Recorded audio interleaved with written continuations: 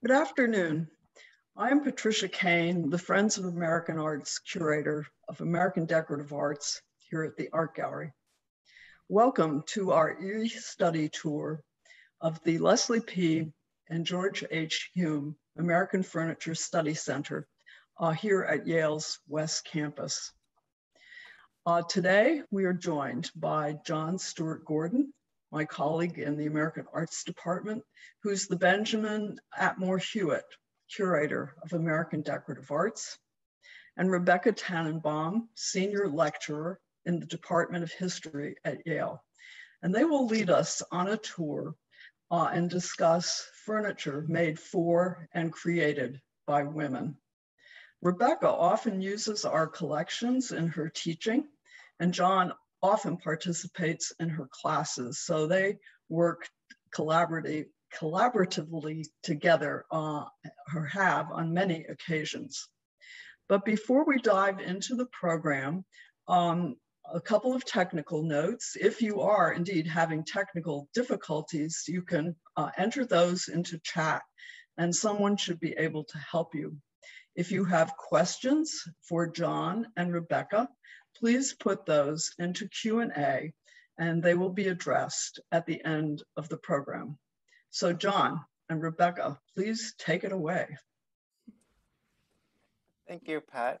Um, the idea for this talk actually originated in the temporary exhibition that's currently on view at the Yale Art Gallery on the basis of art, 150 years of women at Yale.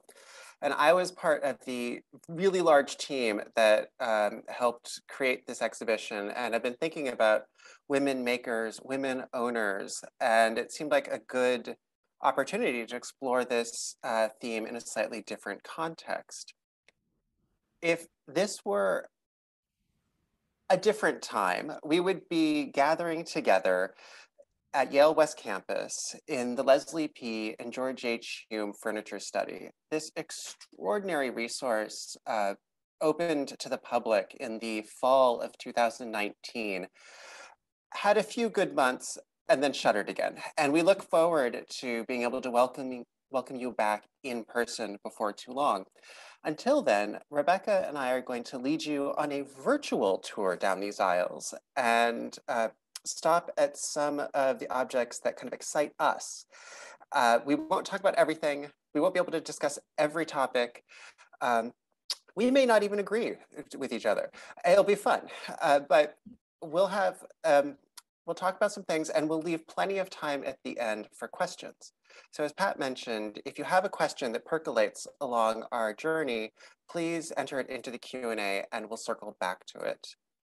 Um, with that, Rebecca, let's walk down the aisle and get to our first object, which is this um, chest with drawers. Um, it's actually, it's one of the oldest objects, it is the oldest object we'll look at today, but it's one of the more recent additions to the gallery's collection. And it was a recent gift in honor of my colleague, Pat Kane.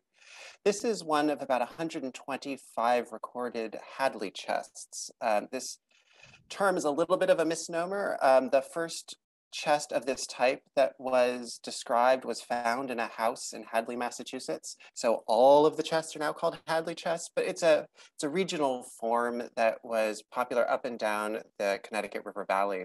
And this type, um, identifiable because a few of the details, uh, for example, like the little checkerboard in the center, um, is associated with Hartford. So from Hadley, Massachusetts to Hartford, Connecticut, you see chests like this.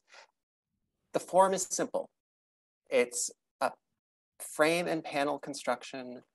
Um, other household furniture would be made this way. Your house actually may be made using this type of construction. It's really forthright. What's spectacular is this profusion of flat carving um, that covers it. These flowers, leaves, stamens, pistils, rather sexy um, carving um, and this example has some remnants of its original paint. So we're looking at a very dark, somber object. You have to imagine this red, black, Some examples have blue and white, and it's all on top of freshly um, hewn oak, which would be buttery yellow. So imagine away this very genteel uh, color palette and think splashy. Rebecca, how would this object have fit into the life of its owner? Well, these uh, Hadley chests are uh, usually were usually made as dowry chests for young women um, on the occasion of their marriage. So they contained the, the property that a young woman would have brought to the marriage, and of course, were also part of that property. Um, what was inside were her valuables, um, and mostly what was valuable were linens and, and other house pieces of household uh, cloth. Um, now, that doesn't sound like a very valuable object, but you have to remember before mass production, cloth was scarce, hard to make, and very expensive. So, a set of household linens, which would include bed sheets and tablecloths and napkins, really represented a substantial investment um, for the young woman's family. And just to understand how valuable uh, these this cloth was, um, there's a probate inventory, and of course, in a probate inventory, uh, every object in a household is given a value. Um, and on this particular inventory, one embroidered linen napkin was valued at three shillings. But you have to remember that at this at the time that this probate inventory was made, um, land was selling for four shillings an acre. So that single napkin was worth almost as much as an acre of land. Um, I also just wanted to talk about the decorative motifs in a slightly uh, in, in, a different way. Um, they are gorgeous. Um, a lot of these motifs are very similar to what you see in embroidery patterns at the time: the leaves, the flowers, the pomegranates, all of these symbols of fertility and um, and lush life. Um, so the pattern on the outside of the chest is reflecting the contents of the chest. Um, and once these chests were placed in a household, they would often be draped with more cloth, and sometimes household silver would be displayed along the top. So you have these as an important display of wealth. Um, and as I'll talk about more in a minute, they're also a uniquely uh, female form of property. Yeah, uh, here's a, the detail of that center panel, which I think beautifully shows um, this kind of abstract carving, and it really shows the point Rebecca was making about the links to embroidery and crewel work. It's it's a great observation. And at the center of this panel is um, two stylized S's, and that's those are the initials probably of the owner. Um, and infuriatingly, um, this chest does not come down to us with a history. Most furniture does not come down to us with a history. So SS is lost to time, um, but was probably the initials of the young woman for whom this was made. Uh, and when Rebecca and I were talking about this um, in preparation, we said like, oh, it's awful, SS, who knows who SS will be? I put on my, my miner's cap and I went diving into the marriage records um, in the Hartford area in the late 16, 1600s. And amazingly, SS is a very popular man's initials not so much for women. And uh, there was a Sarah Smith who marries John Spencer in 1693. And there's a Susanna Scott who marries Thomas Shepard in 1695. There are probably more out there, but it's nice to be able to be like, okay, well, maybe we have an idea of one of the households that this could have come out of. And one of the interesting things to remember about these chests is that the initials and as we'll see in a moment, um, the names that were inscribed on them are the woman's uh, maiden name, not her married name. Um, and that was because this is her property that she is bringing into the marriage. So even though she loses her name as soon as she's married, her name or initials remain the same on this chest. So it's a way of preserving that part of her heritage. Um, and uh, something else that John and I talked about when we were preparing this talk was how difficult it sometimes is to find women in the archives, um, in part because their names change. Uh, as soon as a woman marries, her name changes, and that's her name in all of uh, the records from the, thence forward. And if she marries again, her name changes again. So it's sometimes very difficult to trace a woman's life because uh, because her name changes so often, or at least once uh, during her life. But they are preserved. The maiden names are preserved on these uh, dowry chests. Yeah, this may be a great example of that point. Um, we've just walked around the corner and come across this chest, which is made about 100 years later, but not much has changed. Um, the cabinetry has changed. This is made um, using dovetail joints that if you look close at your screen, you can see them peeking through the blue paint to the corner. Um, it has kind of very up-to-date bracket feet. It's, it's a more sophisticated object, but it's still a rectangle um, divided into square frames, and then the frames are filled with uh, stylized floral motifs. So it's not interesting to see this arc, this aesthetic arc that remains kind of fixed for about a century. And scholars have associated this chest with um, the Lehigh County area of Pennsylvania based on other examples, um, more firmly documented examples that have been found in that region. Although some um, with this large central heart have also been found um, to the southwest of uh, Pennsylvania in, um, in Lancaster County. This one is tantalizing because it has a name and a date, and we love that kind of thing. And it's so it's Margareta Bonen's um, chest, and you can see the date 1788 bracketing her last name. When this was published uh, by the gallery, um, and for much of its life, we had no idea who Margareta Bonen was. And uh, I, I was able to locate the, um, the records of St. Luke's Lutheran Church in Schaefferstown, which is in Lebanon County, uh, Pennsylvania. And this is right actually in between Lehigh and Lancaster County. So that, um, so it's in that kind of that, that region in the mid area of the state. And the 1783 list of communicants for the church lists Margareta Bonen. And this is the only trace we've been able to find of this, this woman um, in the historical records so far. There's more out there. But um, it's rather intriguing because why does she only appear this year? I mean, she, and um, it's not on the list is there're not a whole lot of Bonens. It's not the whole family. It's just her. So does she come alone to this region and comes to the church? Or more, more likely, because it's the list of communicants, these are the people who are now active members of the church. She may have just come of age and she is now an, an official member of the church. And that's 1783, and this chest is marked 1788 five years difference. So maybe, you know, in that five years of coming of age, now she maybe she's ready to be married. And I said earlier these were uniquely female forms of property. Um, one of the differences between inheritance patterns for young men and young women is that young women often got their full inheritance on marriage rather than upon their father or their parents' deaths.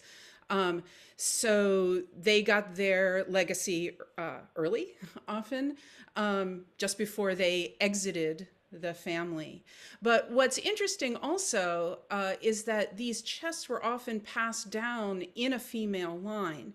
So a woman might pass her chest down to her eldest daughter, just as a man might leave the majority of his real estate to his eldest son.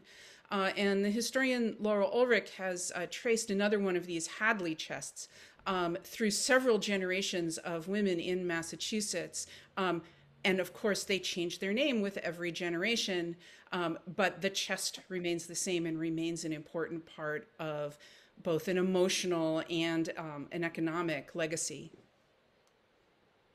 And what's fascinating about that is also so it you know the, the, the object becomes the fixed point in an ever rotating galaxy, but the names off are often passed down too. Mm-hmm. Um, and anyone who's done any kind of historical sleuthing knows that you may find you know the Susan Smith you're looking for is also has a daughter named Susan and a granddaughter named Susan and a great granddaughter named Susan and a cousin named Susan and um, So the memories come down through the objects, but also the naming as well. Which is another thing that sometimes makes it hard to trace people in the archives is that the names and, and this goes for both men and women, remain the same across generations, and it's hard to tell which um, Susan Smith or John Smith you're looking at in the in the records. True. True. I want to um, whisk us upstairs to the second floor, to the mezzanine of the furniture study, and to look at this glorious array of work tables. Um, we could spend an entire day just diving into each one of these, but uh, Rekha and I both have a favorite, and it both happens to be the same one, which is really convenient. Uh, so we're gonna we're gonna really um, hone in on one particular table, a rather spectacular object that was made in Philadelphia. And historically, it had been associated with um, Henry Connelly's shop because of these beautiful attenuated legs that are almost like columns, reeded columns with um, very stylized um, acanthus carved capitals. When my predecessor, David Barquist, was studying this um, in preparation for a catalog, he took it apart and found a little inscription um, in one of the structural elements that said Robert MacGuffin and the date 1808. And sure enough, Robert MacGuffin worked for Henry Connelly um, and made at least part of this table. So we could actually locate it in a shop in a city at a particular time, which is fairly rare. Um, the table came with very minimal historical documentation. Um, the the family knew that it would, had been made by uh, for um, a Sarah Teresa Pratt, and um, that she lived in Philadelphia. But that was, and we knew her death date. That was pretty much it. But it's always been kind of a spectacular thing on its own. And for those of you who may not be familiar with the form, um, it's a great, it's a, it's a gendered form, which is a fascinating story in itself. Many of them, um, the large, the basket or this kind of upholstered uh, protrusion at the bottom is on rails and can slide out and becomes like a big catch-all drawer. This example is a little different. The whole top lifts up and um, hinges back and reveals internal compartments. And this one retains its original robin's egg blue lining, which is just, you know, fabulous. And bigger compartments or medium-sized compartments for some medium-sized objects. They're tiny little drawers tucked in the cavity for maybe small things like thimbles and needles. And then the bulk of it, um, you probably put large, large objects. So, um, as you may have guessed from that description, the kind of work done with this work table was fancy needlework and embroidery. Um, the needles, the embroidery silks, and then, of course, in the larger compartment, um, you have uh, the actual piece that you're that you're working on, as well as perhaps extra fabric or whatever. Um, so, as John said, this is one of my favorite objects, as well as one of his favorite objects. I love it because it is so feminine and I'll explain like the gendering of this piece of furniture, but it's so feminine that this table actually literally wears a skirt. That green swag looks a lot like women's skirts of the time. Um, but also it really demonstrates um, another aspect of the way that textiles and needlework were kind of the essence of femininity in early America. Um, not just what women did on an everyday basis, but also symbolically. They were symbols of femininity and feminine virtue. Uh, one of the favorite Bible verses of especially New England ministers when they preached on, on um, the virtuous woman was from Proverbs 31 with the verse, uh, She seeketh wool and flax and worketh willingly with her hands. And so this work table embodies that. Now, of course, the young woman or girl who owned this um, was an affluent, from a very affluent family. I mean, you can tell just by looking at um, this piece of furniture.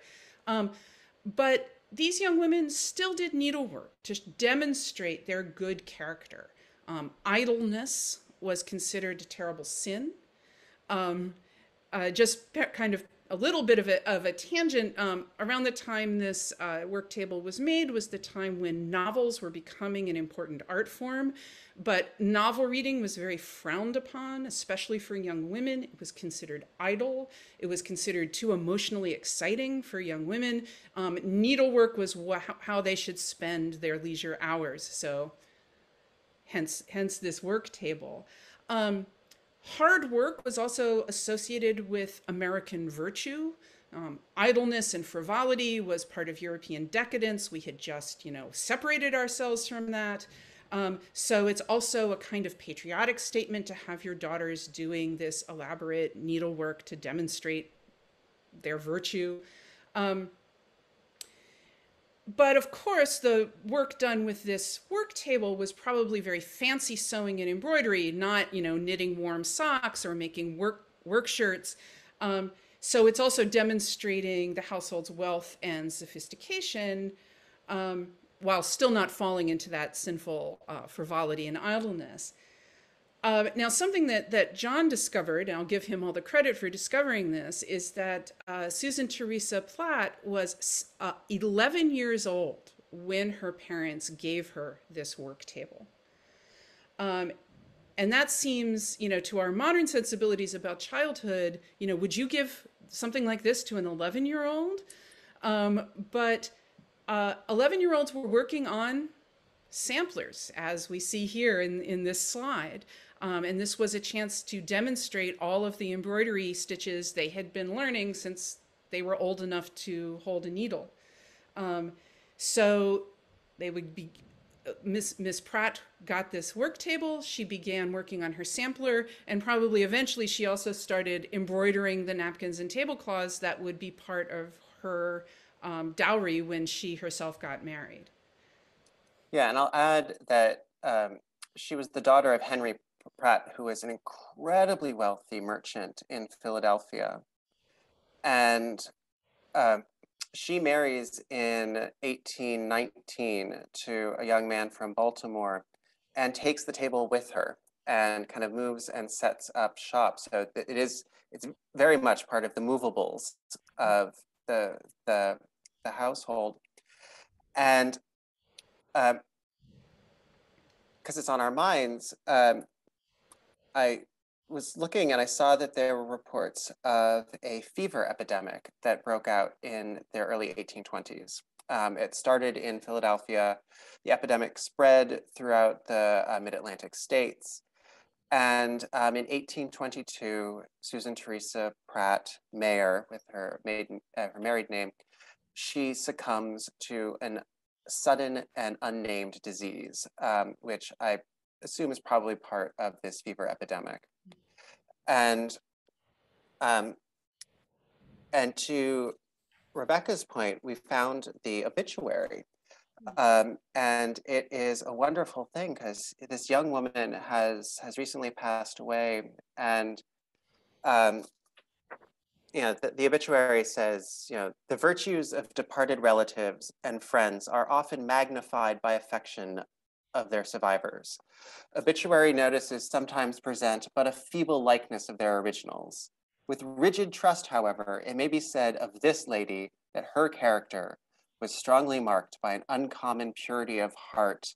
And it goes on and on, and then it mentions and domestic virtue, which endeared her to all around her.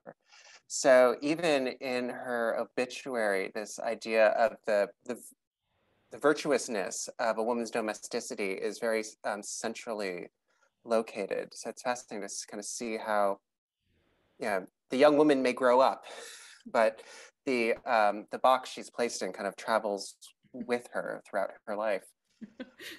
both literally and figuratively. yes. And to Rebecca's point that this is wearing a skirt. yeah. Yeah, I mean, you can really see the similarities between uh, Mrs. Elliott's uh, gown and especially the sleeves and the ruffles on on the uh, work table itself. Um, I also just wanted to call attention to uh, Mrs. Elliott's uh, handbag. Um, it's so prominently displayed in this painting. Um, and I think this is demonstrating, first of all, I am sure although I have no evidence for it, but I am sure that she embroidered that bag herself. So this is another example of of domestic virtue and needlework and its association with femininity. Um, it's also kind of interesting moment in the history of fashion. Um, around this time is when handbags actually became an object of fashion. Um, there were a number of reasons for this, uh, one of which was the changing shape of dresses. Uh, dresses at this time had, as you can sort of see in, in the painting, an empire waist and a much narrower skirt than what had gone before. Um, so why does that mean you had to carry a handbag? Well, as some of you may know, up until this time, women had carried what were called pockets. They weren't sewn into the clothing, but were little separate bags, often elaborately embroidered, as this handbag is. And actually, this handbag is very much the shape of a traditional pocket. Um, and these pockets, instead of being sewn into your clothing, would tie around your waist, like um, what we'd now call a fanny pack. Um, and there was a slit in your skirt so you could reach in and access your pocket. But with the changing fashions of the late 18th, early 19th centuries, um, they spoiled the line of the gown. And so handbags became the important accessory. Um, and eventually, over time, both tie on pockets and sewn in pockets disappeared from women's clothing. So, the reason we women cannot have nowhere good to put our keys and our phones these days is because of handbags like Mrs. Elliott's from, uh, the, er, from the late 18th century. So there's another little digre- historical digression for everyone today. And I will note that the upholstery on the work table is a reproduction, but it's based on a plate from Thomas Sheraton's Upholster and Cabinet Maker's Guide from 1793 of a very similar work table that has this rather fluffy um, skirt, which, and, they, and those, the dependencies even look like pockets. So like the dress, the, you know, it's wearing a skirt with pockets. Um, I, um, David Barquist, my predecessor, has, has, noted that actually probably a more appropriate um, addressing for this table would probably be pleats. Mm.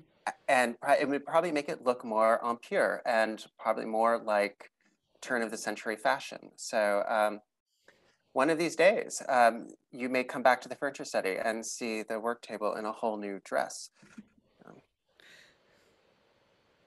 So we're going to go around the corner to an object that it's kind of easy to walk by when you're in the furniture study, but it's a truly remarkable thing. It's this pole screen. Um, it's one of a pair. Um, they were both made, um, each one was made by a sister, um, Mariah and Sarah Leavitt. Um, Sarah Leavitt is at Historic Deerfield, and um, the very restrained neoclassical uh, armature is been attributed to Daniel Clay, who was a cabinet maker working in Greenfield, Massachusetts. Pole screens are a curious form because um, they're neither fish nor fowl. They're, they're ostensibly a piece of furniture, but uh, and their their job is to block a draft or um, or block light or heat. And there are stories of in the days when women's makeup was kind of wax based, um, women being inside with a roaring fire and feeling their makeup melt, and a pole screen or a table screen was a useful thing to block the heat.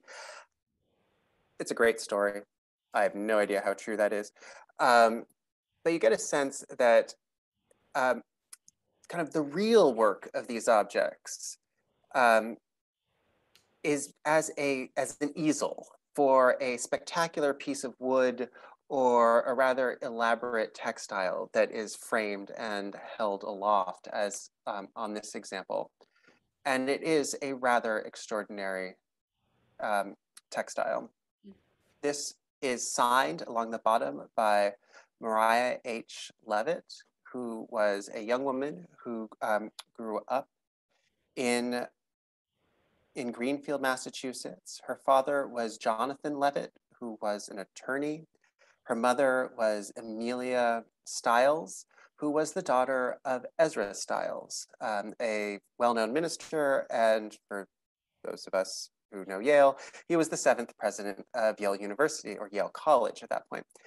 And so this is a very erudite family, and it just kind of shows the um, economic and cultural capital that was kind of focused in the, the professional class and the kind of the, the minister class in this period. And Maria and her sister were educated briefly at Deerfield Academy, um, where this may have been been constructed. Right. I mean, this is an example of the expanding educational opportunities for girls in this time period. A lot of these young ladies' academies sprang up all over, uh, all over America, especially here in New England and in the Northeast. Um, they taught academic subjects, as you might imagine, history, literature, um, geography, as we'll see in a couple of objects from now.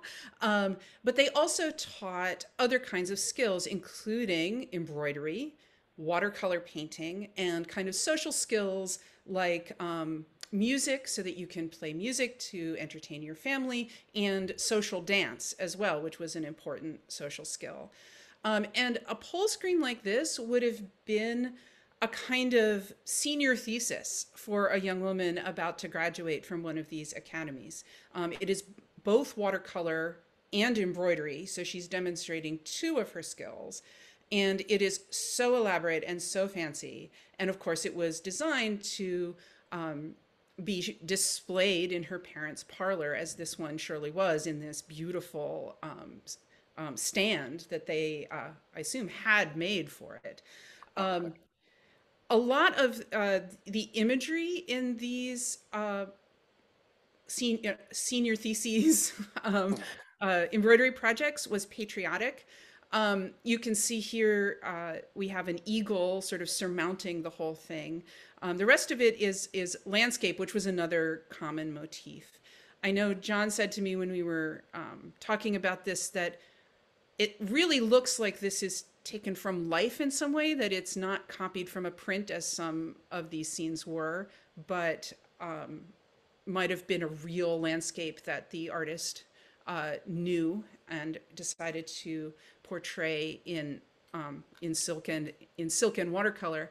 Um, but you often also see like very much more explicitly patriotic imagery in in these um, in these embroideries. Uh, there's a there was a famous print that showed the figure, the female figure of Liberty, um, holding up her hand to feed the American eagle with a with a flag in the background, um, and that was a very uh, I think done more than once as one of these uh, final projects. Yeah, I will add that um, a former fellow in our department, Corinne Eskridge, did a fair amount of research on this stand and um, the work table we'll look at in a little bit.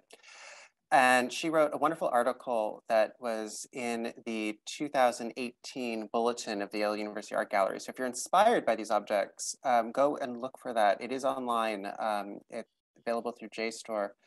And Corinne was um, also drew the connection that um, Jerusha Mather Williams was the preceptress at Deerfield at this time period, and she actually may be the one who laid out uh, key elements of this composition. Mm. Um, and so you can see it's part of the kind of the indoctrination of next generations of kind of having to recreate patriotic symbols um, and also doing copy work, just as art students would have to do copies off of, of plaster casts. Um, and so um, Corinne and other scholars have kind of looked at, you know, thinking maybe um, Jerusha Williams kind of laid this out. And I like the idea that, you know, here these people are living along the Connecticut River Valley. Maybe these are scenes that resonate with their experience um, and the landscape they know, because everything's just a little quirky and it's, um, it's, it's idiosyncratic and charming um, in a way that makes it seem like it's not copied from a formal print source. So I mentioned Maria had a sister, and this is the work of her sister, Sarah. Um, and this may have also been done at Deerfield. Um, the timing is a little vague. Um, it may have been executed at Deerfield. It may also have been executed um, when Sarah Hooker Leavitt was a student at Miss Abby Wright's Female Academy in South Hadley. Um, the frame is original and it bears the label of Smith and Norton, who were um, gilders and framers in um, in Northampton. So between Deerfield, Northampton, South Hadley, you see um, this, this kind of close-knit geography of where these objects and these people are moving between. Um, and you get the family history because this is a memorial image to Ezra Stiles, the grandfather. Um, so really kind of, again, affirming their, their family's role in, if not American history, Connecticut history. And uh, the this, of course, is a memorial to a family member. But you know, we were talking earlier about patriotic imagery. Um, often you see very similar kinds of embroideries that were made to commemorate the death of George Washington. So another sort of combining these two motifs of mourning, which was also a very feminine kind of uh, topic um, to portray, but also patriotism in looking at uh, George Washington's tomb. Um, and something else that I think it's really important to remember about these uh, about these projects is that they were sometimes the only form of artistic expression open to these young women. Um, and I think they were beautiful examples of artwork, not just um, needlework skill. Um, but what's interesting is that the painter John Trumbull, and I'm sure many of you are familiar with John Trumbull, many of his paintings hang in the Yale Art Gallery, um, wrote in his autobiography uh, about being inspired to become an artist uh, by his sister's needlework. And I'll read you the quote because it is uh, very interesting. So he wrote, my two sisters, Faith and Mary, had completed their education at an excellent school in Boston, where they both had been taught embroidery. These wonders were hung in my mother's parlor and were among the first objects that caught my infant eye. I endeavored to imitate them, and for several years the nicely sanded floors were constantly scrawled with my rude attempts at drawing. So John Trumbull became a painter because of the beauty of his sister's needlework. That's a phenomenal quote. and here again, another great example of um, kind of this artistic outlet. Um, so another piece by Sarah Hooker Leavitt. And I actually think, so there's a pull, the pole screen at Historic Deerfield, there's Yale Sampler, there's this work table that um, recently came to Yale. Um, Sarah had a drive to create and um, it is fascinating to see uh, all the different outlets and medias that she is um, that she's fueling her creative energy into. So this is signed um, Sarah Hooker Leavitt, Northampton, 1814. And you know, so Northampton is where the framers of her um, needlework are, uh, and it's speculated that maybe she had gone there after Deerfield or Miss Wright's to further um, her education. Um, Corinne uh, Eskridge has noted that there are at least three private academies in Northampton at this time that are teaching women drawing and painting, so she may have been at one of them. The form would have been created professionally, but what um, the, the surface of it was up to um, the creativity of this young woman. I think I have a detail. Oh, there we go. Yeah. Yeah, and unlike if you imagine back to the um, the scene, the river scene on the pole screen, this river scene is very different. Um, it's a little more composed, um, has kind of this Claudian um, asymmetry with a large tree on one side, these romantic ruins. So my instinct is this is probably coming from print source, um, that she's looking at a folio of prints, a book, uh, but she's copying because um, there's a kind of a there's kind of an un-Americanness to this scene um, where the other one kind of felt more immediate. But Rebecca, this is a very, we call this a work table, but this is a different type of work. Yes. Um, so you may notice this one does not have little compartments for needles and thread and cloth. This is a desk. This is a writing desk. Um, are there compartments in this, John? I can't remember. There are drawers, and then once um, the whole thing lifts up, there are compartments hidden. Right. But probably what was kept in there are pens and paper, maybe art supplies. Um, so this is a work table, as I said, for a very different kind of work. We're starting to move outside domesticity now. She is demonstrating her education, her literacy. Um, she probably spent time uh, on this work table writing letters, which was almost a literary form in the 19th century. It was an it was a genre that was sometimes taught in schools as its own uh, genre of composition. Um, so it also it, it demonstrates her education and it also demonstrates not so her, her domestic virtue in learning these feminine skills, but uh, like watercolor painting or uh, other kinds of painting. Um, but it also demonstrates her engagement um, with the outside world. Um, and once again, we have this opportunity for artistic expression that we saw with the uh, embroideries as well.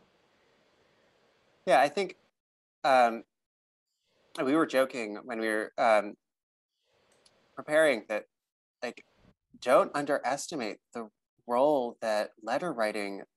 Played in this period. And anyone who read David McCullough's amazing biography of John Adams, Abigail was the star. And it's like her letters are phenomenal. And you can see, you know, it, um, although you know, many women were disenfranchised from public office or um, owning businesses. Um, they were having their opinions heard and shaping the world around them through kind of epistolary relationships and um, through the act of, of writing. So something like this becomes really kind of potent in that kind of outward movement. So I want to um, head back downstairs for our last object that you can see kind of um, hovering at the bottom of our screen. Uh, this kind of unusual thing. And I'm just going to let Rebecca launch in. Alrighty then. Um, so here we have another uh, final project, another senior thesis. Um, but of, of a very different kind. Um, I think, uh, again, I think this is what John told me that the, this would have come as kind of a kit um, that you first constructed the globe by putting the, the different panels together and then painted in the, uh, the continents and the countries and labeled them yourself. So um, Miss Mount would have done all of that work. So she is demonstrating here a very different kind of educated skill. She's demonstrating her knowledge of geography, first of all.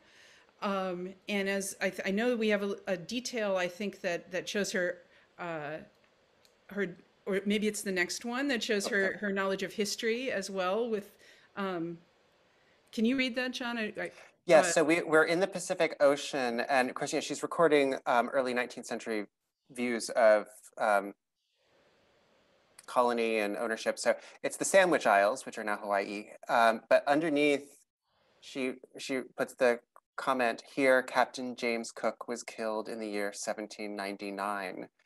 Um, so it's not just recording the location, but what happens. And and it struck me like this is within you know it's been before her lifetime, but it's the lifetime of her father. So this is history, but it's recent history that she's kind of coding onto the world. And here we have her signing this globe as its maker.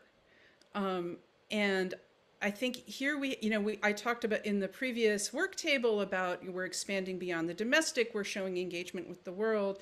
Well, this is really demonstrating an ambition to literally put her mark on the world. Um, and she did so, signing and dating her work here. Um, and I think also we, we're not sure. We think maybe she was a school teacher, so it might also have been used in her classroom. Um, also demonstrating her engagement with the larger world, her ability to uh, make some money of her own um, using her education and her skills. So yeah, I'll, I'll add in that she was, um, so there's some debate about her birth year, but she was roughly 16 when she made this. So young, but actually not so young that you couldn't be a school teacher in this period. Mhm. Um, and we do have records that, um, like Susanna Rowson's Female Academy in Boston, which is a, um, right out of Boston, which is a very prominent um, school young women's academy, uh, advertised teaching geography and we know that some um, frame makers um, supplied frames for globes. So we know that this is, it, it's not a, this is a rare survival, but we know it was not the only one that was ever, ever made, which is a nice reminder. And I think it, uh, this is our last object, but I just wanted to say we've kind of moved outward, right? We started with the dowry, with the linens, with the with the importance of marriage, and then as we move forward in time, even as um, long ago as 1822, um, we start to see women pushing pushing those boundaries a little bit, and I think we can see this globe and and the way that uh, Elizabeth Mount signed it um, as a kind of precursor of the increasing political and social engagement of women through the 19th century. So thank you for taking this this dive with me through some of our, our favorite objects. These are always fun to talk about. Don, Rebecca, that was really wonderful. Um, um, these you really made these pieces come to life. Life. So thank you um, very much. Um, there has been a question on the uh, uh, Sarah uh, Leavitt work table, and uh, the question is, um, what is the medium of that painting? Oh, that's a great question. I don't think we've done um, XRF or kind of analysis. We just, we kind of benignly say paint um, in our label. And we probably should look at it. Um, in the detail, you could see that there was a water stain and that the paint had moved with the water stain. So um, I assume it's going to be a, a possibly a water-based paint, um, then probably sealed in some way, but we should, um, for our knowledge and for our own being able to take care of it, we should probably have it looked at but it's on it's on view right now, so we'll have to wait for it to come off of view. So, but do come and look at it um, in person.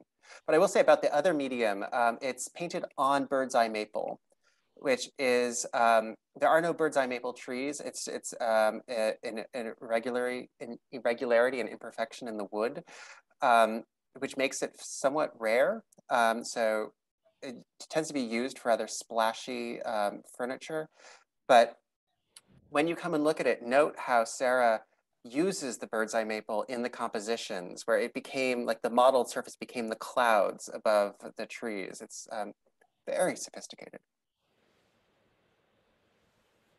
You know, when you were talking about the um, the Hadley chest and then um, uh, Bowen's chest, um, I was really struck for the first time even though I've looked at both these objects for many years now, with the fact that um, the central flowers, at least in Margaretta's, we can see it fairly clearly in this image even, are coming out of a mound, a little, you know, little uh, mound.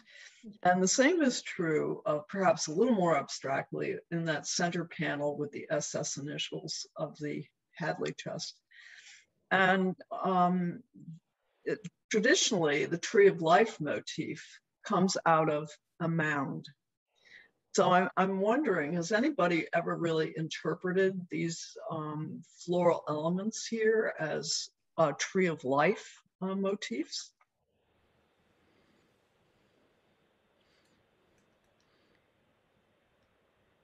Have you seen that, Rebecca? Um, um, I've seen Tree of Life motifs, I think, on some of the other chests. Um, am I right about that? Um, but that's an interest. That's an interesting um, observation that they sort of substituted the name for the tree, uh, have the name or the initials growing out of the mound, um, and I would speculate, you know, that you know, this connects in some way to the idea of this being the basis of a family, the basis of a family tree. Um, I mentioned before the way these chests were handed down from mother to daughter. So maybe it's a, uh, sort of acknowledging that in some way. I think this is a phenomenal project for a young scholar out there. Um, because Pat and I have looked at our Taunton chest, uh, which is in this kind of idiom um, that's um, on view in the gallery, that also, you know, Pat noticed that that also seems to be growing out of the mound and the connections to palampores and other textiles that share this motif. You see this um, motif a lot and often, more often than not, on items associated with women.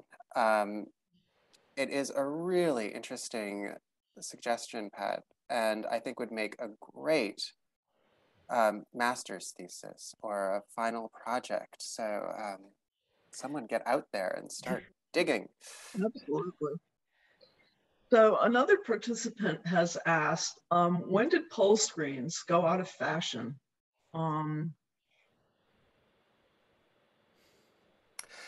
they are, I think it's a fairly brief um, time period because really their their their high point is the Rococo, and you don't really see many that predate the Rococo, and then um, then you see a handful of federal ones, and then by the 1840s, they're gone. Um, yeah, and probably because a whole different kind of if if they were to guard against heat, let's say from a fireplace, the heating technology begins to change, right? With the introduction yeah. of stoves, the Franklin stove and that kind of thing. So yeah, I'm sure those stoves still produced a lot of heat. Yeah, and then you see a revival of them at the end of the 19th century as part of the Victorian uh, kind of the aesthetic um, interior, um, that kind of the more is more, um, let's upholster our space around us. Um, and you know, looking in like an American context, which is what I've looked at, um, you see often it's the colonial ones that have come out of the attic back down to the living room, but certainly you see those in British um, interiors as well. So um, they had a brief moment. I got so excited, I just knocked my computer. Um, they had a brief moment, but um, they were never a very popular form, and um, maybe we could bring them back. Someone asks, is there an example of a Hadley chest after paint analysis in a reproduction with guest original coloration? The Shelburne Museum um, did a study. They received a Hadley chest a number of years ago, and they did paint analysis, and they did comparisons of um, paint analysis on others. And uh, they have, um, and I think that they did a little um, installation around it. So, and I actually do not know if it still is intact or if it was just for the um, the installation. But they've gone down that road, of, and that's how I knew that the Prussian blue was even discovered on these, which I thought was kind of wild. Um, and then the, you know, Peter Follansbee has not done um, Hadley chess, but he's done kind of Wethersfield chess and earlier uh, Boston chess, where he's recreated the coloration but a few have survived, like Hannah Barnard's cupboard, and then there was a Hadley chess that um, came up for sale a few years ago with really vivid colors that uh, would be great to either in person or digitally restore. Um, not restore the actual thing, make a replica, but um, to really get a sense of what the colors were, because um, I think we will all be a bit a bit shocked. It's like understanding that the sculptures on the Parthenon were polychrome. I mean, it's uh, we have to rethink how we think about history. You know, I was really struck, Rebecca, when you were talking about um, young women doing um, their uh, needlework and probably and the importance and value of linens in their um, the uh, goods they brought into their marriage. Um, and I'm assuming that those um, the putting their initials on those linens, which we often see in ones that survive, those are probably also their maiden initials, yes? Yes. And, and I, think, I think that tradition continued through the 19th century. Yeah, but please go ahead. Well, it also continued into the 20th century in terms of silver made for women. Um, in fact, we have a, a, a plate in the collection that was given to us by Mrs. Griswold. And it indeed, she received it as a wedding present and has her maiden initials on it. And that was in the 1920s. So this um, use of a woman's maiden initials as signifying that these things are hers, um, really, it just um, probably died when the idea of monogramming things, uh, silver anyway, died in the mid 20th century. Yes, I mean, I know I've seen, now that you mention it, I was thinking I, I enjoy reading old etiquette books, and I remember reading some, yeah, early 20th century etiquette books describing the monogramming of silver and household linens, and it says always with the maiden initials. Um, so that's a very long tradition, and it comes from the economic basis of marriage, um, you know, in the early modern period. But the tradition of marking silver and linens that way continued even when that was not as important a part of marriage. Mm-hmm. Well, John and Rebecca, thank you so much for um, this tour. It really has been um, so enjoyable, such great images and such great comments um, and knowledge that you've um, shared with us uh, today. Um, and so I just want to thank all of you for coming and participating in this uh, program. Um, and we hope that uh, you might uh, join us uh, for another one of the e-study tours of the furniture study on uh, November 5th when um, Al Albert LeCoff and myself will be celebrating the 20th anniversary of our groundbreaking exhibition, Wood Turning in North America. Um, we're going to talk about some of the stellar objects um, from that exhibition that are now in the furniture study. So we hope to see you then. Take care.